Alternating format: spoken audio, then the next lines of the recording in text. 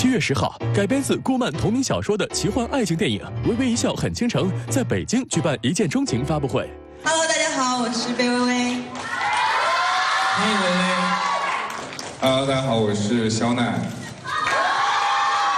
电影主要讲述了一对校园风云情侣肖奈、贝微微在梦游江湖的游戏世界里，以白衣琴师一笑奈何和红衣女侠芦苇微微的身份浪漫邂逅结缘，又在现实里幸运相恋的爱情故事。发布会上，两位主演更是现场还原微笑夫妇肖奈、贝微微的甜宠戏码。微微，不要笑。这是我第一次跟女孩子相处，常常我不知道该做什么。但是别人能做到的，我也要做到。对，因为他在游戏里很照顾我，所以在发布会上想送给他一个大礼。什么大礼？